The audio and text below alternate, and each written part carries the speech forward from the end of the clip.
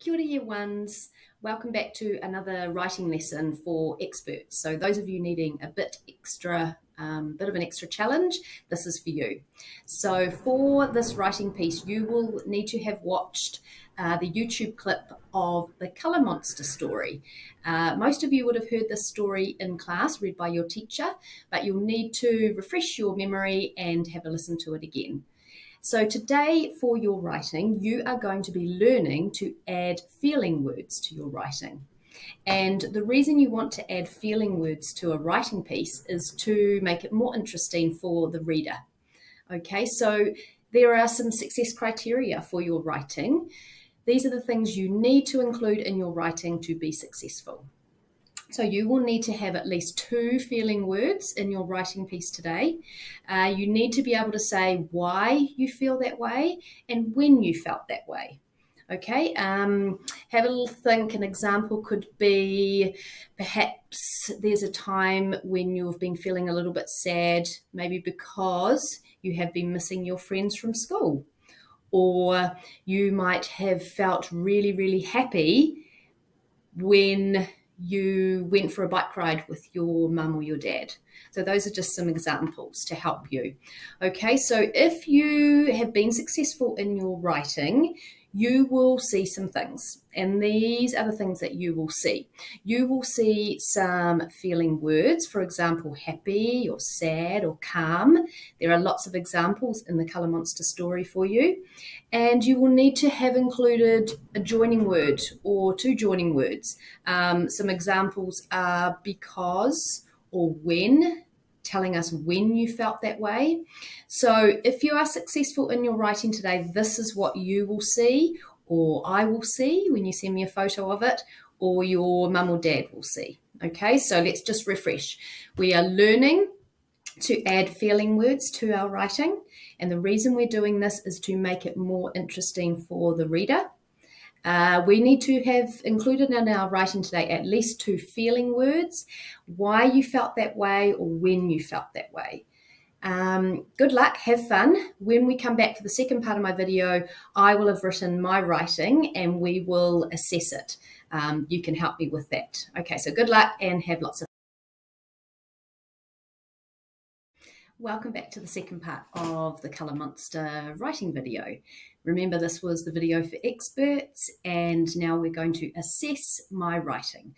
So to do that we need to read it to check that it makes sense. So here I go. I feel calm when I'm sitting reading a good book.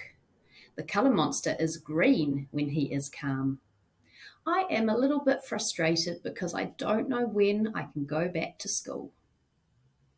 Okay, so we need to go back and have a look at our success criteria to remind ourselves what we needed to include in our writing today. So we needed to make sure we had at least two feeling words and we needed to be able to say why we felt that way or when we felt that way. Okay, we also need to remember all these things at the top here.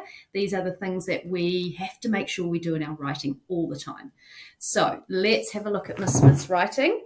And I've got my pink highlighter to circle all of my feeling words and all of those times I told you when or why I felt that way.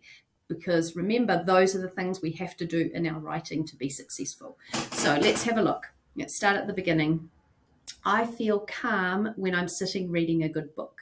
So, which of those words in that first sentence do you think are the feeling words or is the feeling word? That's it. that's the word calm. So, I'm going to put a circle around that. So, you can do the same when you self assess your own writing. Okay, so let's carry on to the next sentence. The colour monster is green when he is calm there's that word calm again. I've used the word calm in the second sentence, but I've also told you that he is green when he feels calm. Remember, telling me when or why was part of the success criteria. So that's why I've circled that word when. Let's carry on. I am a little bit frustrated because I don't know when I can go back to school. Can you hear another feeling word in that sentence? It's a long one.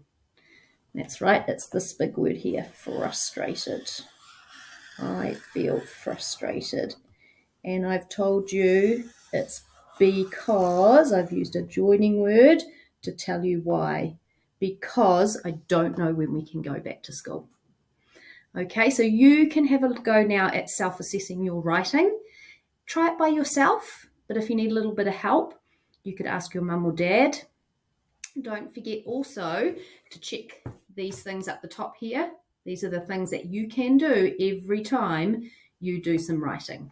Okay, so we're checking for capital letters at the beginning of sentences, full stops at the end of each sentence, uh, finger spaces. Hmm, what else do you need to remember to do? I haven't underlined my my try words, but you can remember to do that. Remember those my try words are those words that you have to really listen for the beginning, middle, and end sounds.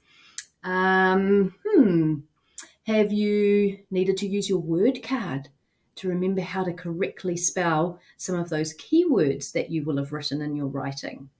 Okay, so in this part of the video, we are learning to self-assess and we're learning to edit our work, checking that we've spelt keywords correctly, checking we've got all of these things happening.